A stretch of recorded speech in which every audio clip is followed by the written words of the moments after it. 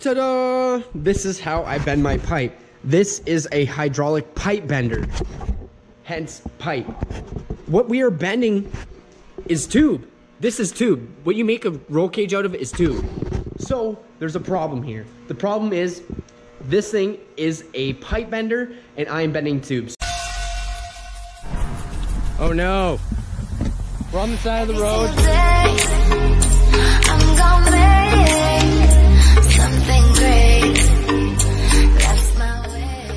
This is usually fairly frightening. I'm gonna make something great. That's my, that's my way.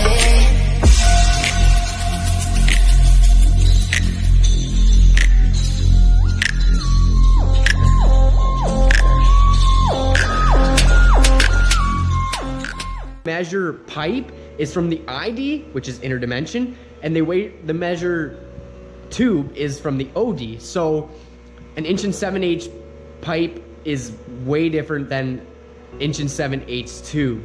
And it sucks because then the dies that come with it don't fit snug on the actual tube, which we are bending.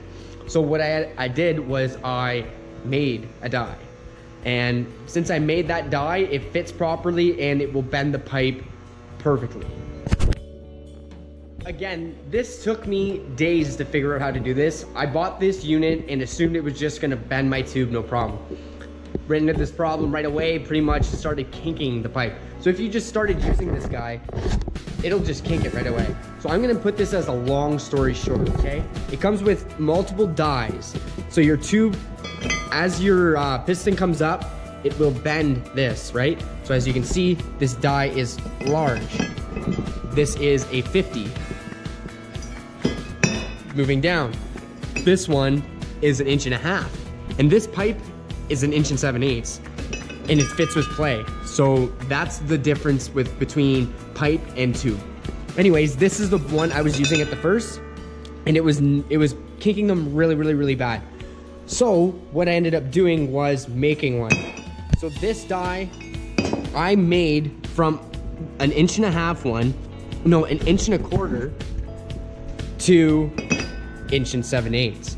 So I had to grind. I spent a couple hours just grinding, test fitting, grinding, test fitting, grinding, test fitting, and I had to make it the exact same size all the way down across here to make this work but it does work and it works every time for me. I also add sand into my pipes just so the, the sand actually is pushing on each side of the wall when it's bending. So it's actually holding the circular shape rather than it folding down to flat or kink. I put my die into my press. All it does is clip on.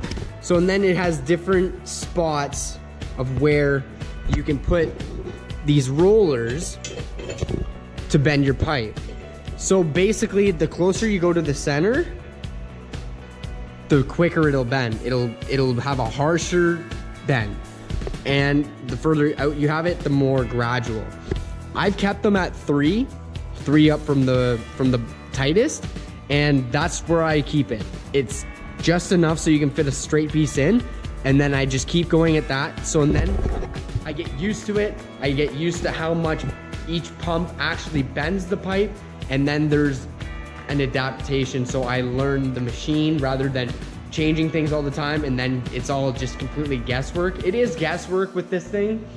You can't really put a put a um, degree on anything to for reference so it's all by feel. So I just keep it here to keep a good feel. So every time I pump it, it's good. And I have a number of how many pumps I do. This is redneck. This is redneck stuff. This is what we do here. Well, I do here. But yeah, anyways, here we go.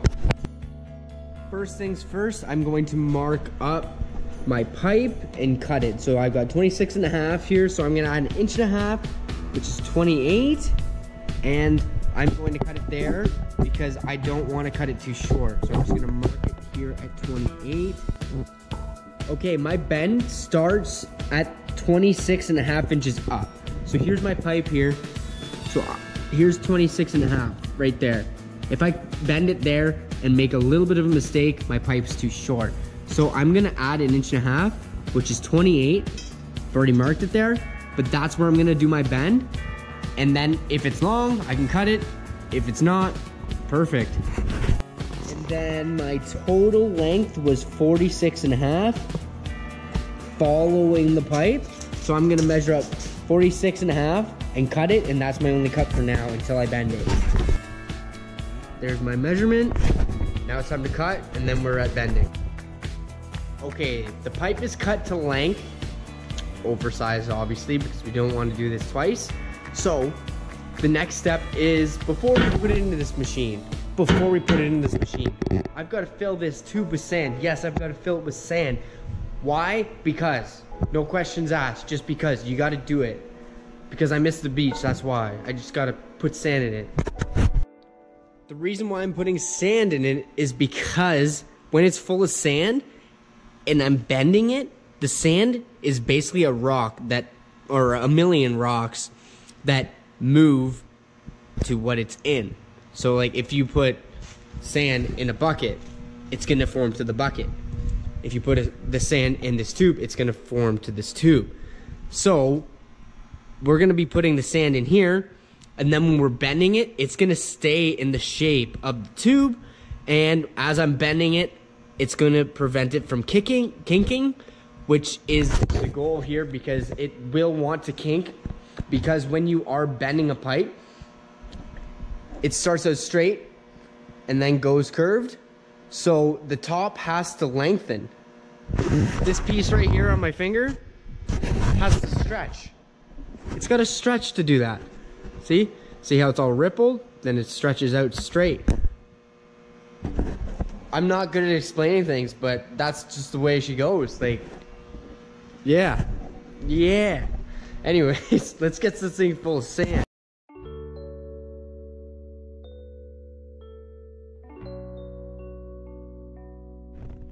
Okay, with a funnel, I use that to put the sand in and I have the end taped so it won't come out.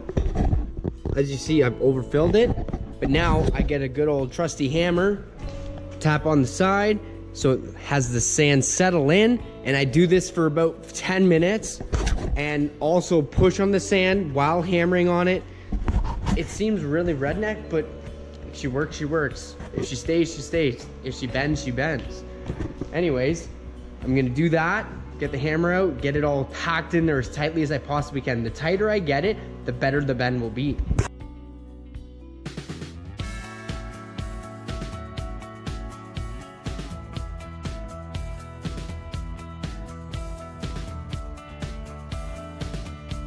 This is actually gonna work. Duct tape the end up, both the ends are taped, they're sealed, they're ready to go. I've never seen somebody making an actual um, piece to, to put into there. Usually people do lots of heat and stuff like that, but heat doesn't work. I've tried heat, does not work. This isn't meant for what I'm doing, but I'm making it work. In my mind, it's the end result that matters. It's not how you get there. If you can jimmy your way there and it's perfect, why not jimmy it all the way there? Okay, so you need two rags, your pipe, and your pipe bender, and your customized pipe piece to fit your actual 1 7 8 um, tube, and then you're ready to go. I wrap this in um, rags here so it doesn't make any marks on the pipe. I've done this and it's worked great. So I always lay mine flat on a level surface. I've leveled this table out to be perfectly level here. So when my piece is in, it's level as well. I'll get to that in future. Before you put it in, you have to mark where the center of your bend needs to be, and then you can put it in. Okay, here we go. I'm going to be putting my mark towards my left right now, so should be right there. As you can see, there's my line. Okay, we're gonna be doing this in steps so it doesn't get kinked. This is a hydraulic press so it can be relieved and pressurized very easily. So since I have my little mark there, as you see while I'm getting my phone light out, that mark, that has to be the pendulum of the actual bend, if that is a word. but I'm going to start before that because I'm going to be doing this in steps. So I'm going to start here. So I'm gonna put somewhere around here where the center is of this actual piece to bend the pipe. So when I start here, I'm just gonna bend it a little bit, then move it, bend it a little bit, move it, go, go a little bit more, bend it, bend it, bend it, bend it. So where I start, I have to stop. So if I'm going two inches from the center here, I have to go two inches from this center. To make the pipe bent in the orientation you want. Yes, this is hard, but it saves you money if you want to be doing it yourself like I do. Okay, there's the mark I made, and there's the center. So right in the center of the camera is the center of the die, which is right here. So I'm starting about an inch and a half to the left, so I have to finish an inch and a half to the right. I'm gonna do 15 pumps, and if it gets really hard to tighten it up, I will do less than 15, because if you are forcing things, you're gonna break things. So I'm gonna start there, pump it up, and see what happens. Okay, I'm gonna make a mark where the center was, when where I just cut it. As you can see, the pipe is bent. It definitely has a bend in it. That was 14 full pumps. And now I'm going to release it and move it closer to my original line.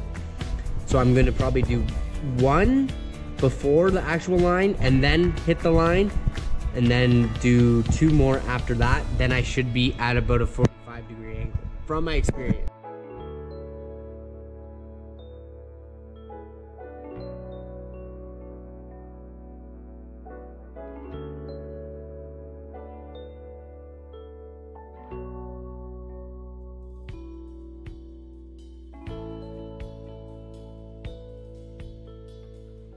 Okay, I just took it out of the bender, and as you can see, there's nothing wrong with that. That looks like it came out of a mandrel bend machine. So, I'm gonna put it in the car and see if that's the angle I need. I think I need a little bit more, but I'd rather do less and then do more later. I just checked it in the car and I do need to do a significant amount more. So I'm gonna do the exact same thing, but I'm going to do it over the same spot I've already done because it's already formed. So now I can rebend it and it won't kink as well.